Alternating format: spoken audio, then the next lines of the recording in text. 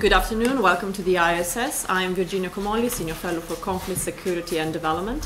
Uh, welcome to the second installment of our uh, monthly series of IISS conflict uh, briefings. So every, every month we gather together to zoom in on a conflict. As you may know, uh, IISS produces quite a lot of conflict-related uh, analysis and we would like to always find new ways to share that knowledge with you and to also um, get your views and feedback on how our data and analysis can better help you in your work. So please do uh, share your thoughts and feedback with us uh, afterwards. So um, this uh, this month we are focusing on the on the Ukraine. Uh, with us from the Ukraine is our um, uh, ACD, Armed Conflict Database conflict researcher Elliot Dolan Evans. Um, he has been spending the past four weeks conducting field research in Ukraine, and so we are very lucky to have him with us today to share his first-hand experience. Um, Elliot uh, works on the armed conflict uh, database and is also uh, pursuing a PhD at Monash University, where he's researching the impact of post-conflict economic restructuring on women's participation. Also here with us, we have a long-standing friend of the Bolai Boles, uh, Dr. Samir Puri, who is an IISS consulting member and a lecturer in war studies at King's College, just down uh, the road. He has previously worked with the uh, Foreign and Commonwealth uh, Office and was seconded in 2014 and 2015 to the OSCE, where he was in uh, eastern uh, Ukraine. And he also is the author a, of an Adelphi book that we published a couple of years ago on non-state uh, armed groups. You'll see it in the display cabinet outside, and you can buy it downstairs before you leave if you want to. Uh, so the, the aim of the sessions is to, to, to keep it quite informal and quite interactive. We won't have formal presentations, but I will try to tease out some um, some of the key themes in a conversation with uh, Samir and, and Elliot, and then we'll have ample time for, for you to share your thoughts and also uh, ask uh, ask questions. As we uh, as we do so, we'll also show you some of the data uh, and maps that we uh, generate as part of the armed conflict database, and you see it in, in, in the background as well. So. Um, just, just to uh, just to start, really, I'd like to ask you, Samir, first, and, and, and Elliot, uh, if you could give us a sense of what the uh, state of the conflict is right now in, in Ukraine. Yeah, I think, I mean, in a word, for a wider audience, the state of the conflict is actually forgotten. Uh, there is still a conflict going on. There are still an inordinate amount of ceasefire violations, of, of weapons being used across the line of contact. But the conflict, uh, as far as a global audience is concerned, has largely, I think, fallen off the media map. In terms of, uh, well, the evolution of the conflict, um, certainly the year I was there, 2014 to 15, there's still a sense of dynamism to the military aspect of uh, the conflict around the line of contact. There were still cities that were being retaken and taken by force that has gradually petered out. And I think this has probably contributed to the fact that it doesn't get as much media attention. There isn't really anything, unlike, for example, in Syria, to report, well, this has changed hands between one side and the other. Um, the two sides, in terms of the front line, are not very far apart from each other.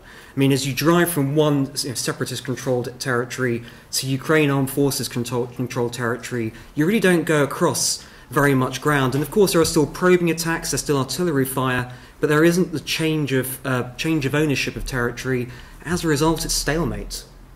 Yeah. Elliot, any thoughts on, on, on what the fight yeah, looks like at the moment?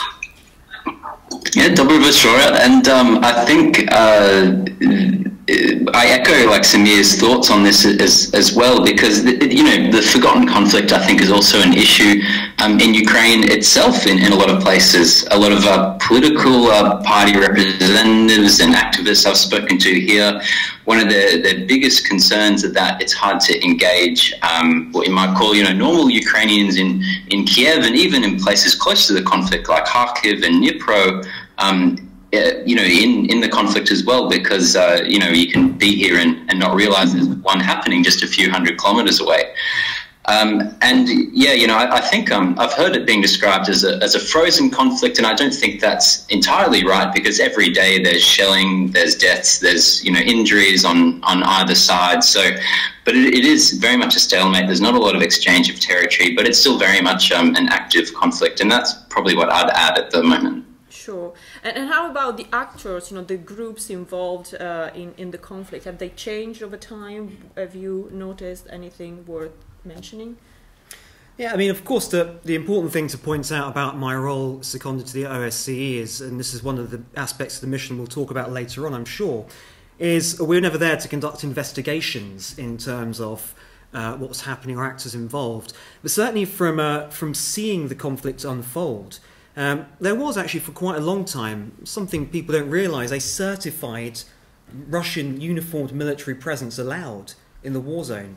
This was something uh, called the JCCC, which was a bilateral agreement between the Ukrainian armed forces and the Russian armed forces, which allowed uh, for actually quite senior ranking Russian general and his staff to be deployed with Ukraine's permission um, along the front line territory. And so, certainly, the year I was there, and actually, the Russians had withdrawn from that uh, a little while back from that particular mission. It was largely ineffectual. It was sort of badged as being able to provide uh, some sort of bilateral control. Uh, monitoring mechanism between the two armed forces. But the dynamics between the Russian armed forces personnel and the separatists, you know, make no mistake, when you walked into a room and they were both there, you could clearly tell who was in charge. There was a sort of Russian General Lentsov, a very senior Russian general who was actually promoted in the time he was there in 2015. Um, and then, of course, the Donetsk People's Republic and Luhansk People's Republic representatives. They're a lot, a lot, younger. One of them looked like he was about 15, wearing his dad's uniform. And I, I sort of joked there, but it really was a sense this is a professional military interacting uh, with a lot of people who were self starters, didn't really have that background. Mm. So, Elliot, we are talking about Russia. So, what do you think are the Russians uh, what are they trying to achieve with their current level of support for the uh, separatist groups?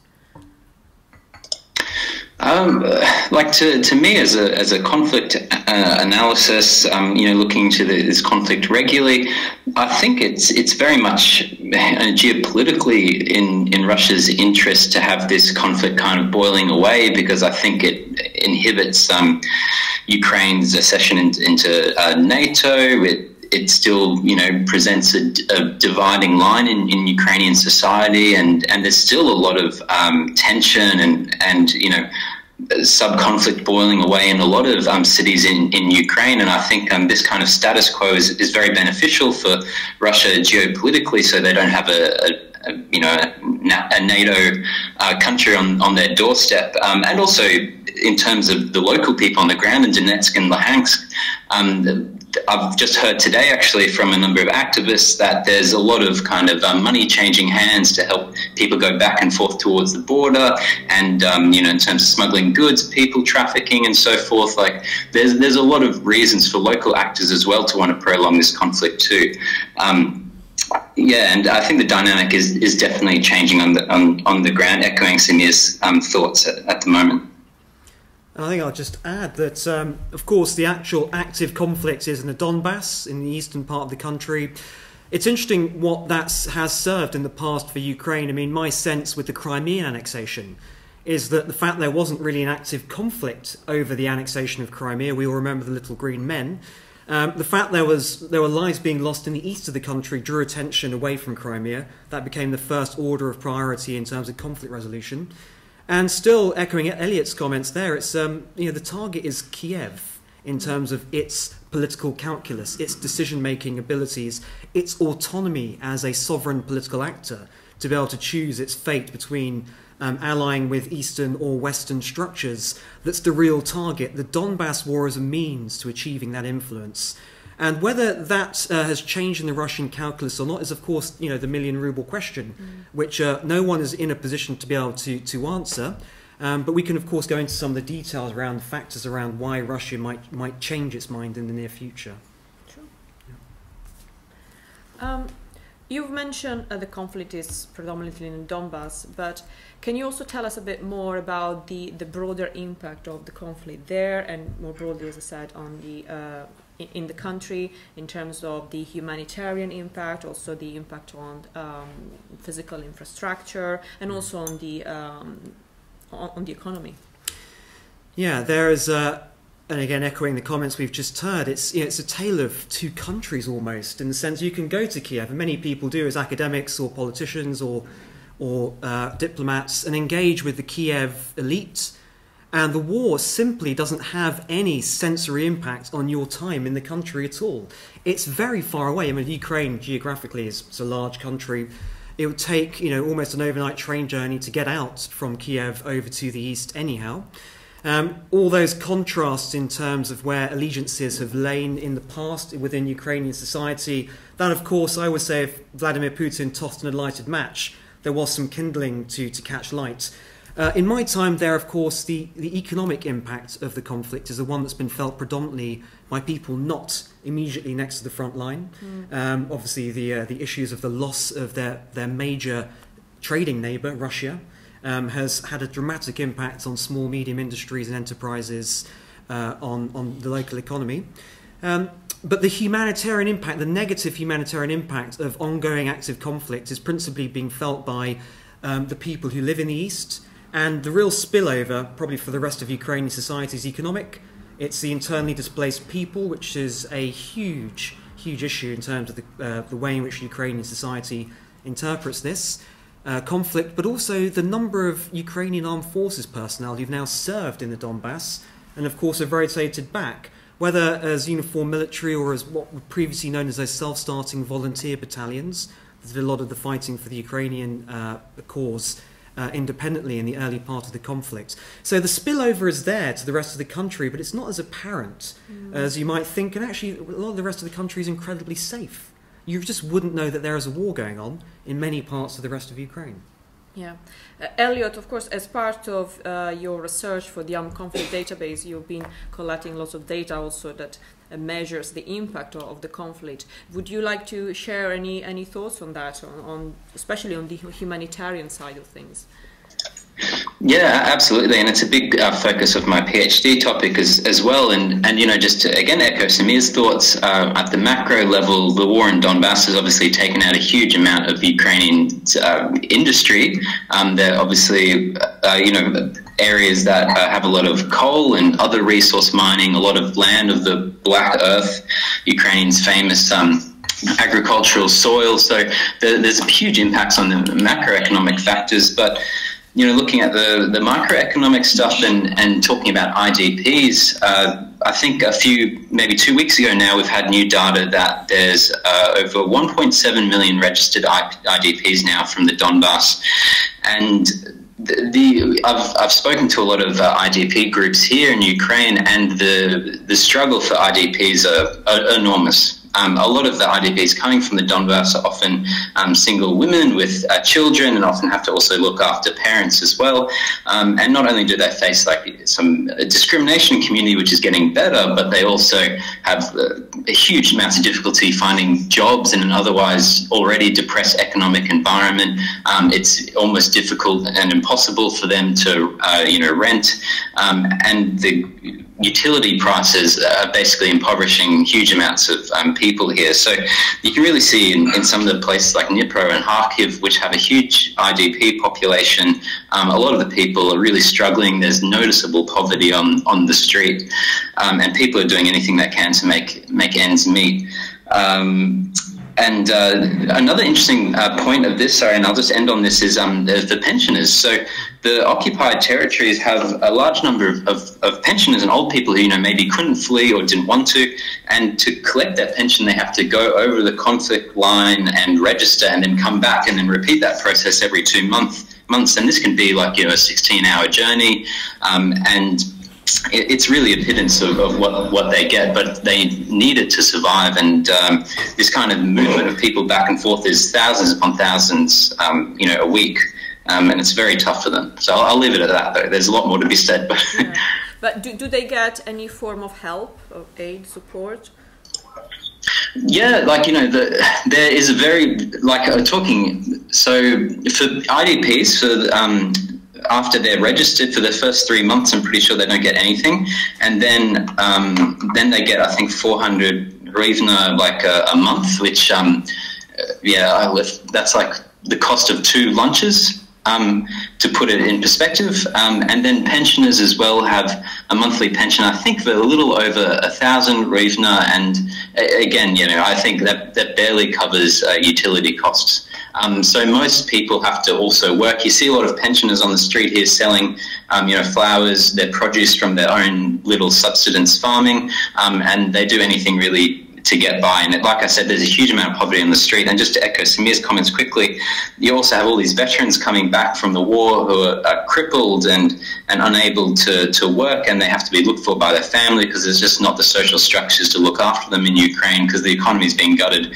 You know, they have to provide all these social services whilst in a war um, economy and huge amounts of money going to the military. So yeah, and I, would also add because there's a, there's that wider societal impact across the country.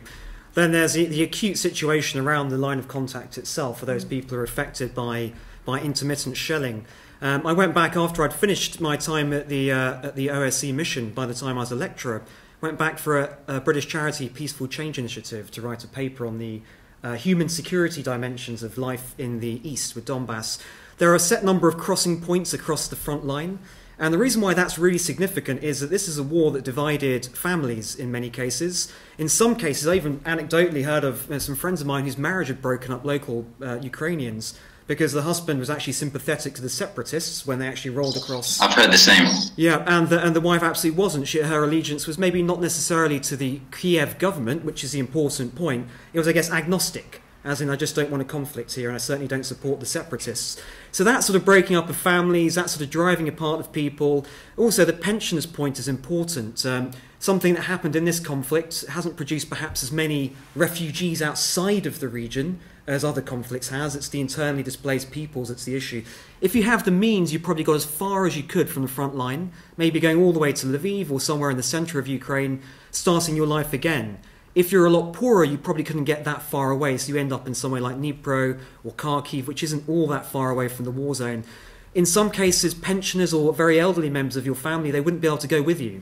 They wouldn't have the, either the desire or the physical capacity. So this need to actually cross that front line, and sometimes it's as mundane as, well, actually my house that I own is still in Donetsk in separatist controlled territory. I'd like to go back and check on my property. Maybe that's the person's major assets. Um, there have been lots of queues. There have been there's been an imperfect system to facilitate the crossing of that front line, and some of these civilian casualties that have been registered in the last couple of years have been people trying to circumnavigate those crossing points, uh, taking, for example, a private minibus that's uh, in some cases they get across, other cases tragically they've hit a landmine. Um, killing people on board, or someone has stumbled. There's also a black market that's sprung up across that front line because of the paucity of goods that are available uh, in the separatist controlled territories, and also the expected price inflation uh, in Ukraine as a whole, which has changed uh, the, the, cost of living for many people. Thank you. Uh, Samir, I'd like to go back to something that you mentioned earlier on when you uh, uh, mentioned the JCCC. so, yeah. there are a number of international missions in, in, the Ukraine. How would you assess their performance? Yeah, I think um, you know the Minsk process, which of course is the thing that the OSCE presides over, that was actually very early on in the in the conflict in the end of 2014 uh, with a sort of a modification in February 2015 that's the, the diplomatic structure for managing the conflicts I think with regards to the assessment of the OSCE mission uh, it's I think it's very easy to criticize it because obviously it hasn't been able to bring about an end to the conflict but I think the important th- distinction to bear in mind is between conflict resolution and conflict management.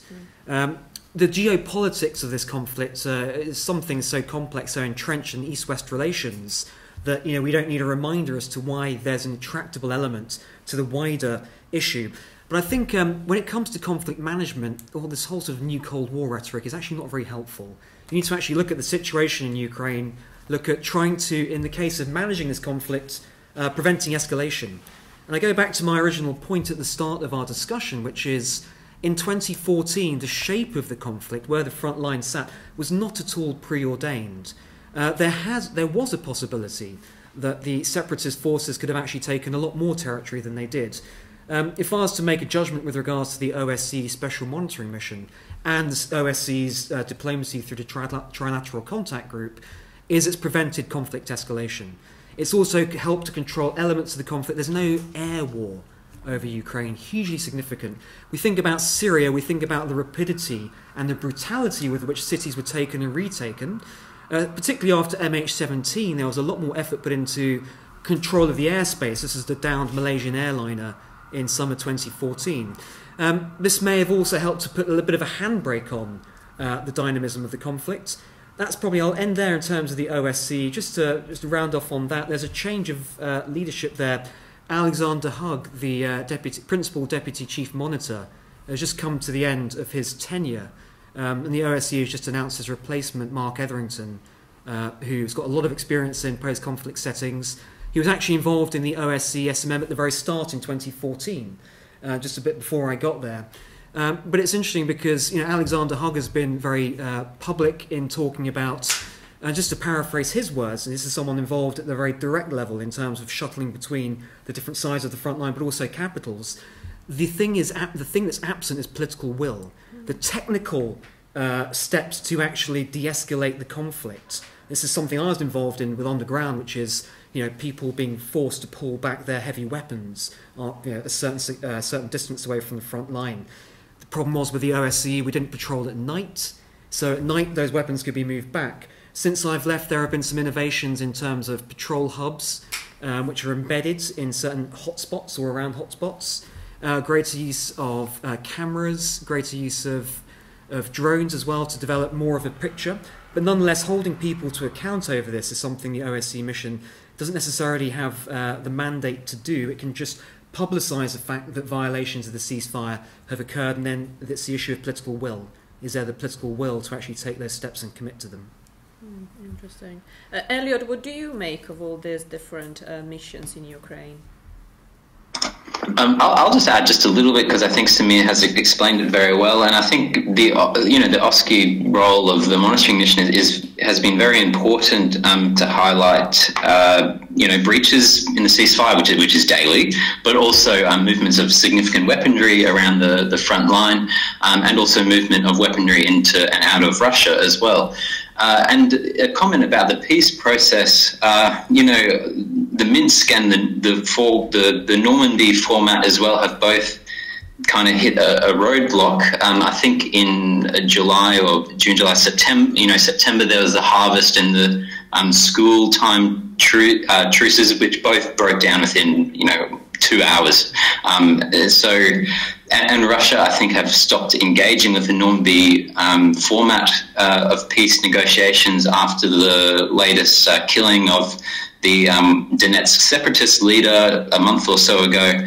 Um, so yeah, it's really uncertain how much more progress we'll get here. And, and just very quickly, I just want to mention the international humanitarian organizations have been crucial for a lot of um, uh, people here in, in Ukraine, and, and, they're really stepping in and providing services that um, the state can't um, themselves provide. So, you know, they have that very important task too. And of course, the other issue, of course, as well, if the OSCE mission as I'd often say at the time when I was there, it's sort of a sticking plaster on a bit of a gaping wound, but without that sticking plaster, you've got pretty much nothing. Um, the proposal or the hypothesis of a UN role mm. is something that's been bounced backwards and forwards uh, in relation to the Ukrainian conflict. Uh, Poroshenko, President Poroshenko, in some of his sort of dark moments when the, you know, the conflict was escalating, would say we need a you know, fully armed, you know, open mandate with regards to the Security Council mission to, uh, to secure uh, the territory, to retake the territory. Of course, you know, the Russians are, very unlikely to allow, sign anything off like that. But you know, the Russian counter proposal is an interesting one, which is to provide effectively through a UN uh, police presence um, armed escorts to the OSCE monitors. So that's been the sort of the Russian line, which is I don't disagree in principle with the idea, but it's more that the OSCE would remain uh, the, the, the, the principal res- international responder. There have been other uh, discussions as to, and Kurt Volker is an important figure here. This is the US government's uh, front person in dealing with uh, the sort of high level diplomacy around the conflict.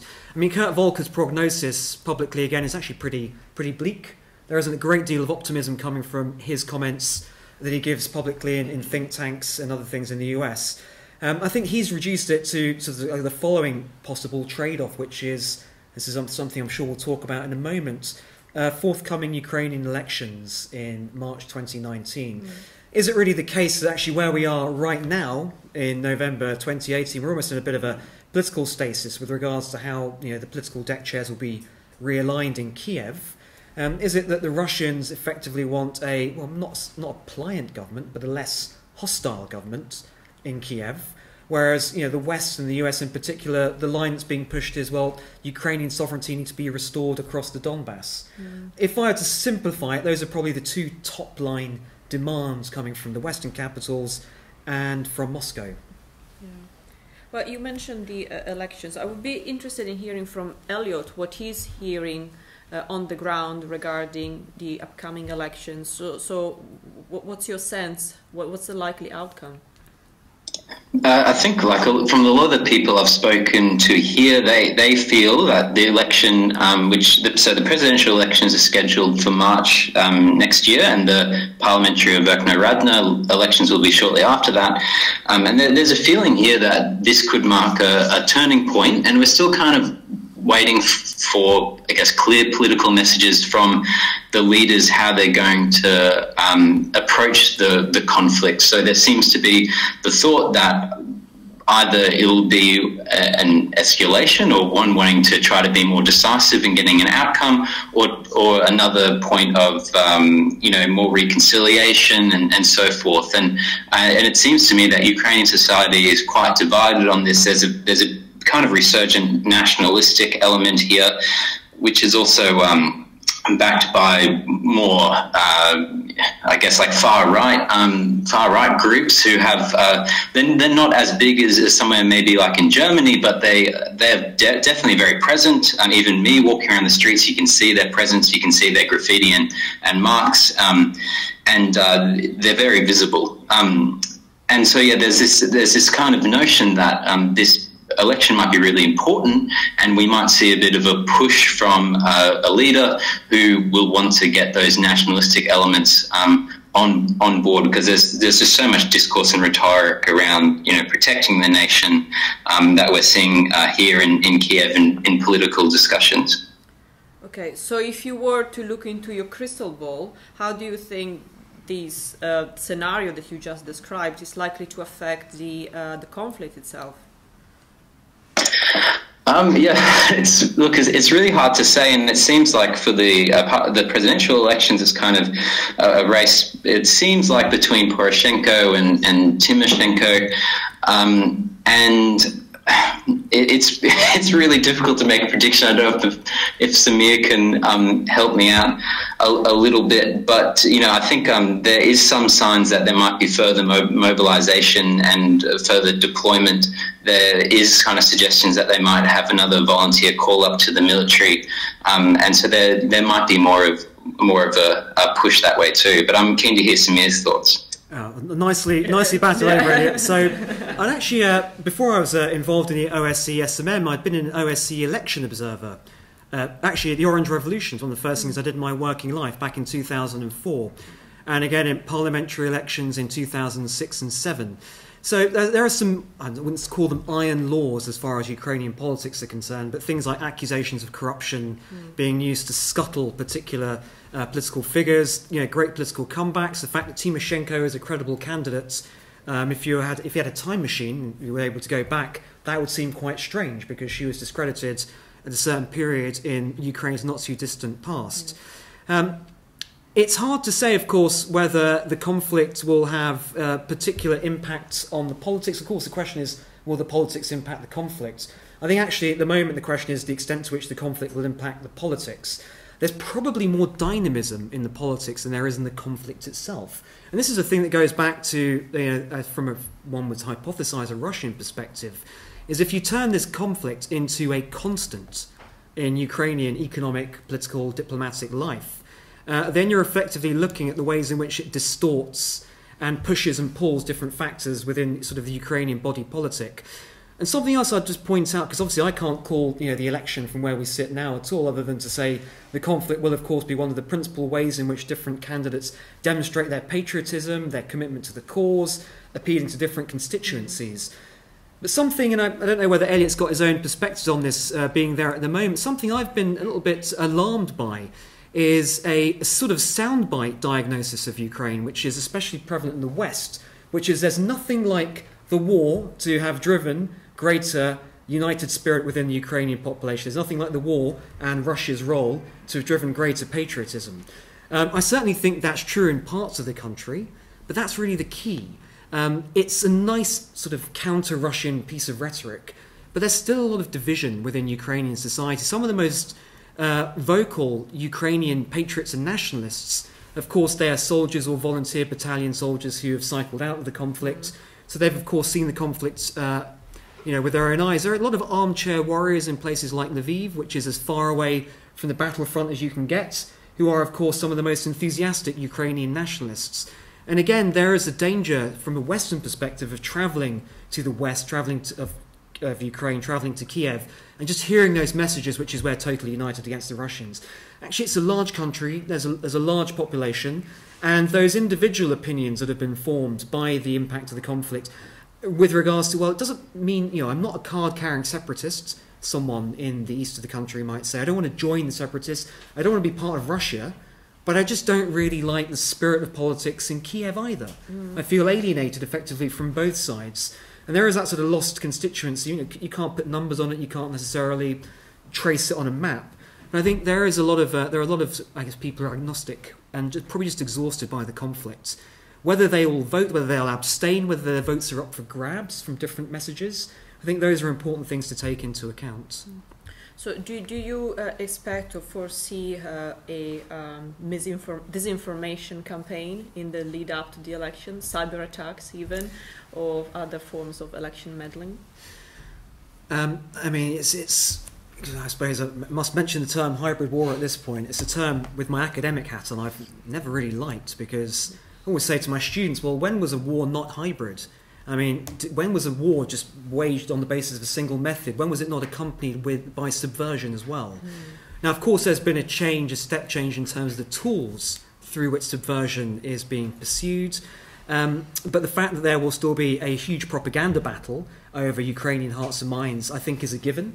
But I'd also say, and this goes back to my previous experiences between 2004 and Yanukovych, of course, who was the, the president who was overthrown in the Maidan revolution, he lost in 2004. He staged a political comeback, um, possibly with the help of Paul Manafort, as we've now found out through some of the revelations around uh, uh, that community of, of, people and Republican campaign uh, advisors. But the point being is that scandal hopefully highlights uh, the, the dirty games that have been played over the political oscillations that have already happened in Kiev between candidates who are, you know, in theory more less more hostile to Russia and, and more pro-West, and, and, vice versa as well. Could Ukraine experience another dramatic pendulum swing? I don't think it will be quite that dramatic, and that's probably the impact the war will have.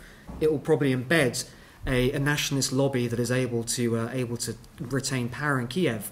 Whether they can actually, whether they have the authority um, the moral intellectual authority over the entire swathe of their, their populace that's the question. And the longer that line of control, line of contact rather, exists in the East, this is a point I made in the NGO paper I wrote, it's not quite like the Berlin Wall.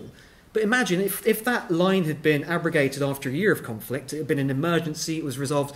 Yes, those divided families, those divided friendships, they could come back together.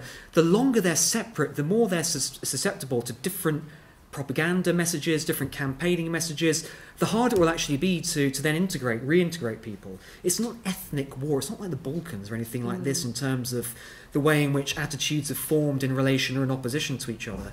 But people are physically separated and they're being bombarded with quite contradictory messages. And that, I think, will also be a dynamic, if not in this election, but certainly for Ukraine's medium term future. Sure. Thank you. Elliot, anything to add on this final point? Uh, just you know, partly echoing Samir, Samir's thoughts that um, you know Ukraine isn't a homogenous um, society. Like the, the, there's people from you know, as everyone probably knows, with like Polish heritage, Hungarian heritage, um, Russian heritage.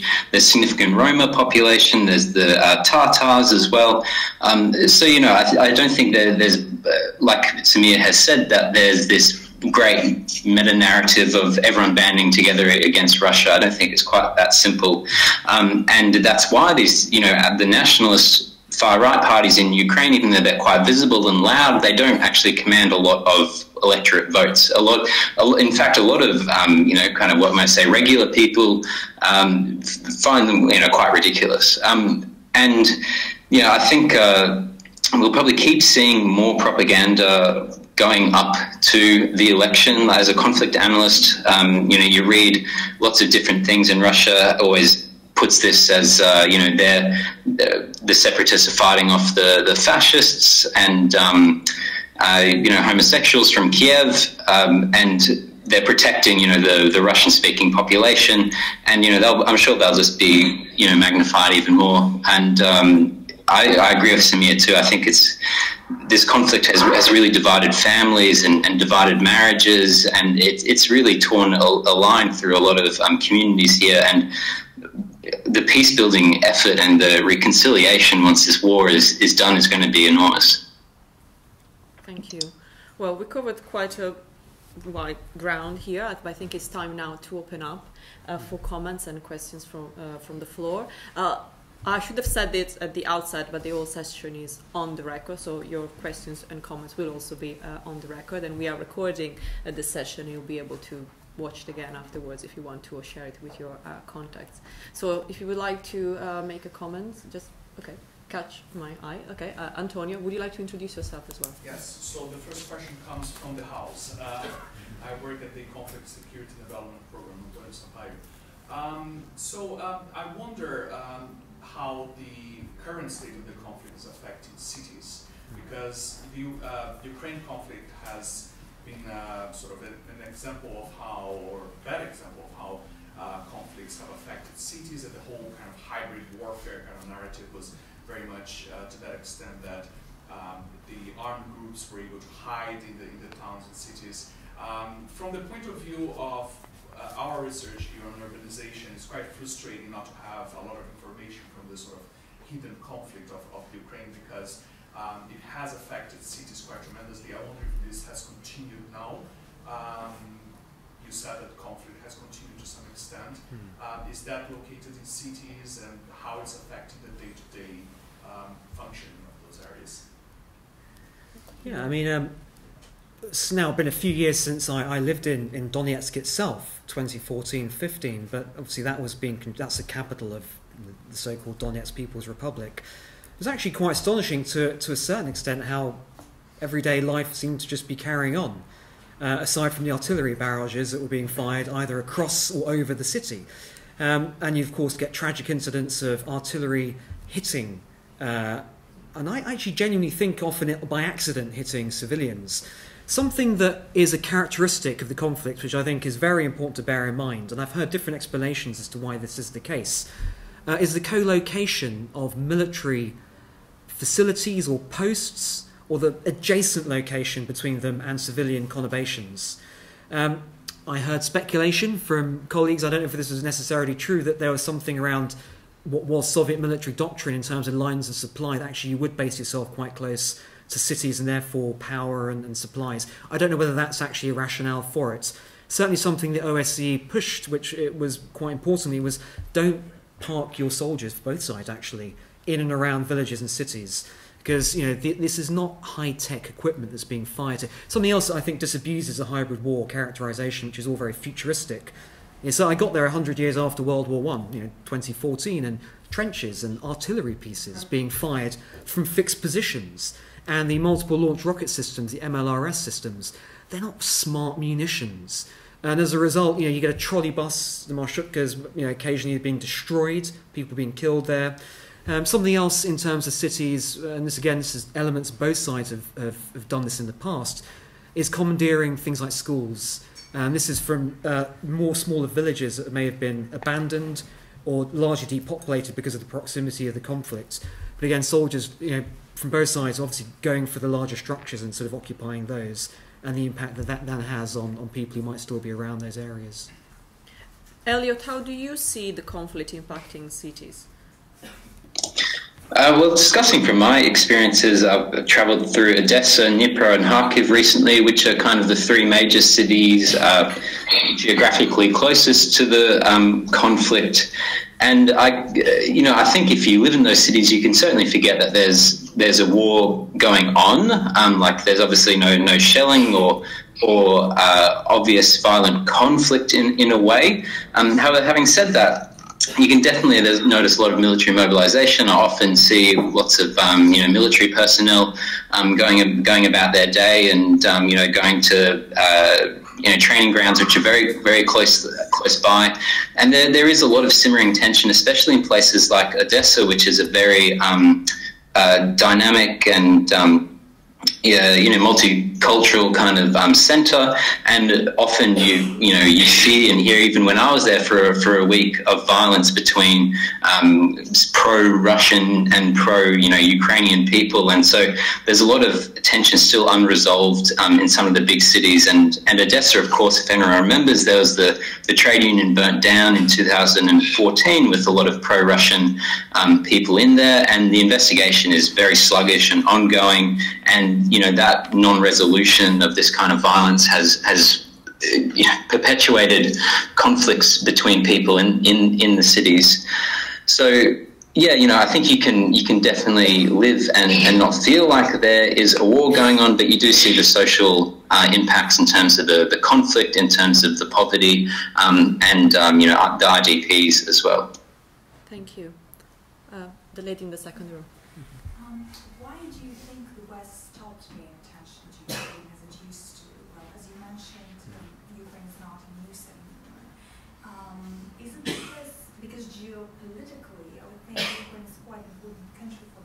Mm. or whose pipelines go through Ukraine to the west. Um, and do you think that probably the uh, recent uh, defense minister's visit um, to Ukraine can change that dynamics? Sorry, would you like to introduce yourself? Yeah, my name is Jamila. I'm from the Henry Jackson Society. Thank you. And a former student at King's, actually, I should also add. Um, yeah, it's uh, it's a very interesting question. Again, you, there's probably multiple perspectives. I'll put it in these terms. The month I left Ukraine, my, my year had come to an end there, was September 2015. That's when I started at King's. And coincidentally, that's the month that Russia's overt military uh, campaign in Syria began. Uh, just to refresh our memories, it's now been you know, just over two, you know, three years coming up. That took a lot of attention away from Ukraine a lot. And I think Syria, it's a slightly different magnitude. Of course, it's produced the refugee crisis. There's a crossover with the narrative of international terrorism, jihadist terrorism. Somehow the cocktail in Syria and the scale of Syria monopolize things. Russia's involvement in Syria is overt. Its uh, uh, role in Ukraine has been superficially veneer thin, deniable, covert, but that's a line that's maintained, which is also quite a striking feature. That's one thing, I guess. It's uh, by default, Ukraine has slightly lost out uh, column inches. The other point I've already made, I think, is really important, is from a report, reportage perspective. You can report, you can go there as a foreign correspondent, you can say it's business as usual. Another, the same village was shelled. It's still just on the outskirts of what was Donetsk Airport, rebuilt for Euro 2012. Now it's a wreck, as, as many of you will know the footage. Those things haven't changed. And that exacerbates actually the tragedy for Ukrainians because you know, they thought this was a crisis that might pass, could be a short, sharp conflict. People may have thought it might have been like the Russia, Georgia conflict, which was over pretty quickly in 2008. It's just gone on and on and on. And there's nothing really positive to say about it from the actual conflict. There's nothing dramatic to say about it. It's become a feature of Ukraine's existence. Elliot? Um, yeah, and you know, I think this is a problem for Ukrainian politics uh, as well. Um, you know, a lot of the political groups I've spoken to here want to increase interest in, in the conflict, but it's it's very difficult when it's it's bubbling away, and it's hard to engage a lot of you know normal Ukrainians uh, in the conflict, which is on their on their doorstep. And yeah, I, I agree with what Samir have said. I don't have anything really too much to add to that.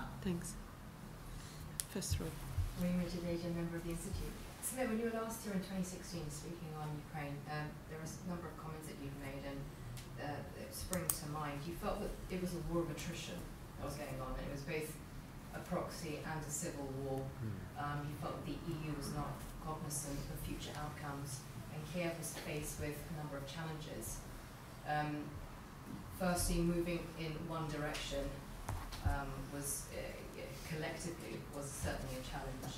Um, democracy in the absence of um, strong institutions. Uh, institutional reform is a very long process. That was another challenge. And then the challenge of national reconciliation. Two years on, what are your thoughts on how Kiev has been addressing those core challenges? Are they being addressed? And if so, how? You've, you have a very good memory. Uh, yes, exactly. And this this is a sad thing actually about progression or lack of in terms of the conflict.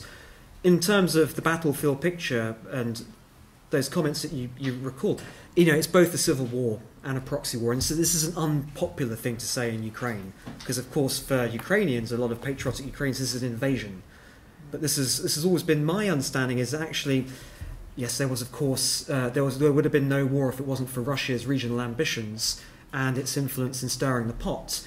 Uh, but unfortunately, some of those societal contrasts, maybe a lack of understanding from certain parts of Ukrainian society for other parts, that was the uh, that was the weakness, the vulnerability that was capitalised on to get the conflict going. Susceptibility to manipulation because of it. Yes, uh, and of course, nothing like armed conflict. Uh, it's nothing like armed conflict to polarize opinions and to increase embitterments. Because of course, people look to displace blame.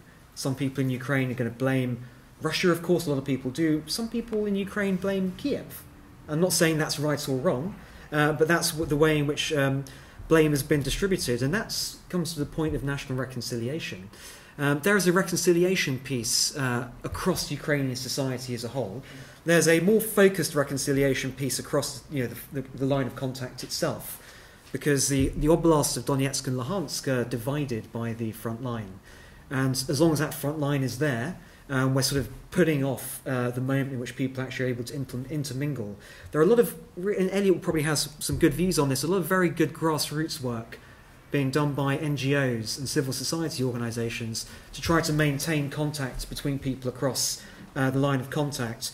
But the meta issue, which is actually Ukrainian society's own relationship with itself, we've got even in Britain, we've got north south tensions and divides. A referendum in Scotland. This is normal as far as um, a larger polity is, is concerned, that historically has been comprised of parts that may have had different political affiliations centuries ago. This is normal part of the way politics unfolds.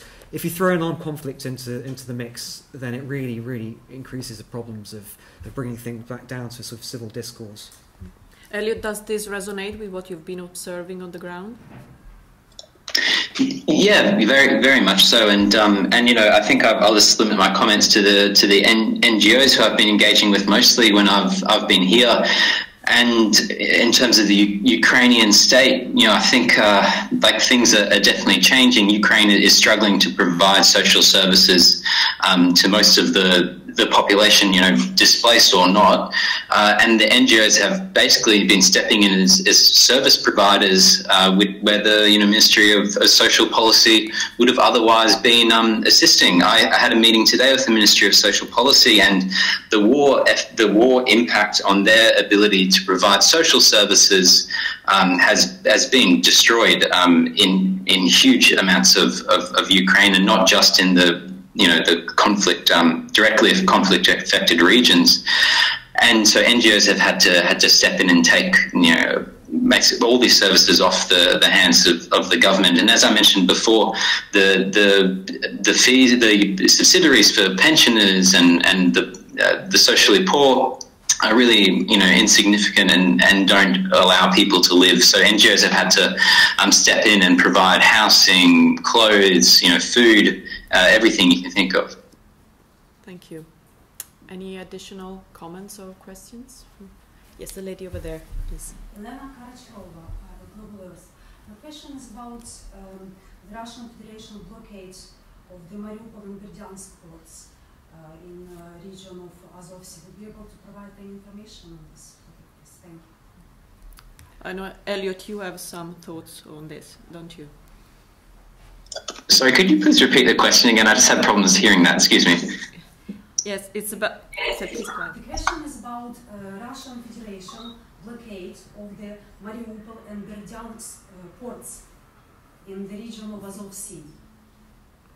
Uh, yes. Um, so yeah, the, the Azov Sea is an interesting um, development. I guess in the last few months, it's been um, more and more of a, of a concern. As um, you know, we've heard reports from the Ukrainian government that Russia has been um, disrupting ships um, going in and out of uh, Ukrainian docks and uh, arbitrarily um, detaining them, boarding them, searching them, and disrupting trade in the region and uh, the Ukrainian uh, Ministry of, of Defense have made announcements recently where they're increasing the uh, military deployments um, to the Azov Sea and are looking to set up a, a naval, a, a, bigger naval base there.